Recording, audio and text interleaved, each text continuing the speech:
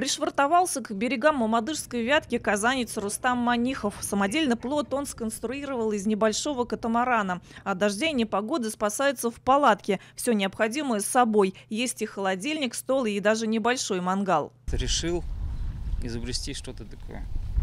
С твердой палубой, большое, широкое, устойчивое, что будет на волне спокойно стоять, чтобы никто не свалился, никого не сдуло.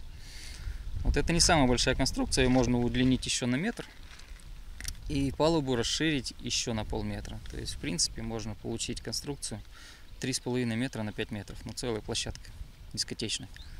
Приделанное деревянное дно делает плот устойчивым к волнениям весенней реки. Сейчас Рустем Манихов путешествует в одиночку, чтобы изучить местность и проложить маршрут для сплава с семьей. Пока один чтобы понять, сколько у меня времени, сколько дней занимает, скажем, от Вятских полян до Лубян, от Лубян до Мамадыша, от Мамадыша до Версута, сколько времени, чтобы потом уже спланировать маршрут вместе с детьми, с Дети супругой. как реагируют на отдых? Ой, старшая у меня вообще балдеет от этого без ума.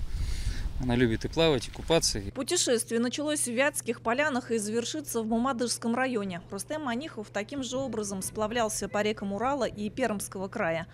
Алсох Медянова, Юлия Муртазина, Фаиль Шейхудинов. Новости Татарстана. Стал очевидцем события и хочет, чтобы о нем узнали? Присылай фото и видео, а также вступай в нашу группу ВКонтакте «Мобильный репортер 24».